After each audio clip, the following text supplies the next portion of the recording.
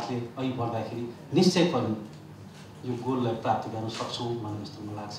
मलाई दुई शब्द म भोलि मौका दिनुभएकोमा यहाँहरूलाई पुनः धन्यवाद दिँदै म आफ्नो पनि अन्त गर्छु। शिक्षा मन्त्रीज्यूको अनुपस्थितिमा शिक्षा मन्त्रालयका सहसचिव दिवाकर ढुङ्गेल सर आउनुभएको छ र उहाँका साथमा हाम्रो एभरेस्ट समिटर सेलिब्रेटी पूजन आचार्य उहाँहरू दुईजनाबाट संयुक्त रूपमा यो वान गोल सबैका लागि शिक्षा अभियानको यो जुन एक महिने अभियान हुँदैछ नेपालमा त्यस अभियानको उद्घाटन गरिदिनु हुन पानसमा बत्ती बालेर उद्घाटन गरिदिनु हुन उहाँहरूलाई हार हार्दिक आग्रह गर्दछु। यो फुटबलमा सबैका लागि शिक्षा एक गोल अभियान लेखिएको छ।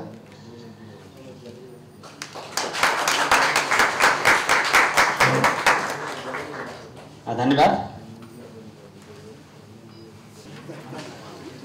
बढिरहेको सन्दर्भमा वास्तवमा यो जुन अहिले हुन गइरहेको समयमा एउटा हाम्रो जुन चाहिँ प्रतिबद्धता एक गोलले जुन दिएको समाचार या मेसेज जुन छ त्यो चाहिँ अझ महत्त्वपूर्ण भइरहेको हामी ठान्दछौँ।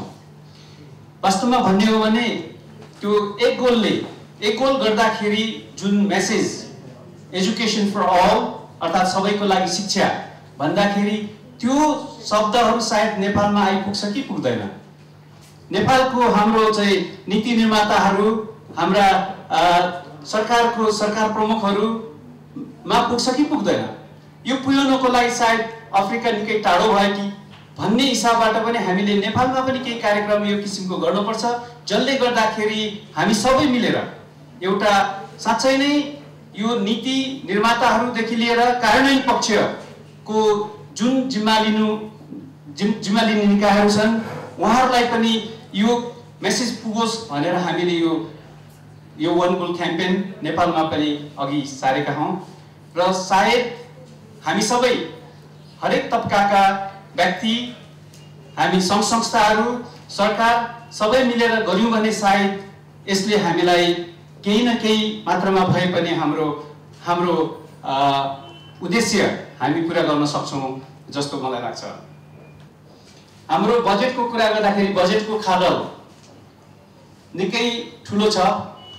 त्यो खाडलको कुरा गर्दाखेरि अब हामीले जबसम्म त्यसको ट्रान्सपेरेन्सी हुँदैन तबसम्म त्यो सायद खाडल त्यो साङ्कुरिँदै जाने सम्भावना पनि कम हुन्छ भन्ने हामीलाई लाग्छ। अनि यसको साथसाथै कार्यान्वयनको पक्षमा अहिलेको जुन चाहिँ विद्यालयमा भइरहेको अब ठुलै रूपमा भन्ने हो भने जुन चाहिँ तपाईँको विद्यालयलाई एउटा कहिलेकाहीँ कहिलेकाहीँ लडाइँको मैदान जस्तो पनि बनाएको अवस्थामा र अहिले हाम्रो सङ्घ सङ्गठनहरूबाट या राजनीतिक पार्टीहरूबाट पनि यसलाई एउटा चाहिँ राजनीतिकरण गरिराखेको बेलामा सायद हामीले यस्तो प्रण गर्नुपर्छ कि जुन बेलामा यो यो संस्थालाई वास्तवमा स्वच्छ एउटा शैक्षिक संस्थाको रूपमा मात्रै हेरिनुपर्छ र गरिनुपर्छ र एउटा यसलाई चाहिँ एउटा शान्ति क्षेत्रको रूपमा शान्ति क्षेत्रको रूपमा चाहिँ हामीले बनाउनुपर्छ भन्ने कुरामा हामी सबैले प्रण गर्नुपर्छ जस्तो लाग्छ। अब यसको साथमा हामीले यो एक महिनाको कार्यक्रममा सायद यहाँहरू सबैबाट यतिकै रूपमा र हाम्रा जुन चाहिँ यो स- यो कार्यक्रममा पहिलो कार्यक्रममा यहाँहरू आइदिनु हुने सम्पूर्ण महानुभावहरू सम्पूर्ण अतिथि पाहुनाहरू र हाम्रा चाहिँ मन्त्रालयबाट विभागबाट र युवा खेलकुद मन्त्रालयबाट र विभिन्न डोनर अर्गनाइजेसन र एआइएनका प्रतिनिधिहरू सबैलाई म यस आयोजक संस्थाको तर्फबाट हार्दिक धन्यवाद दिन चाहन्छु। र हामीले यसपछि एउटा कार्यक्रम राखेका छौँ।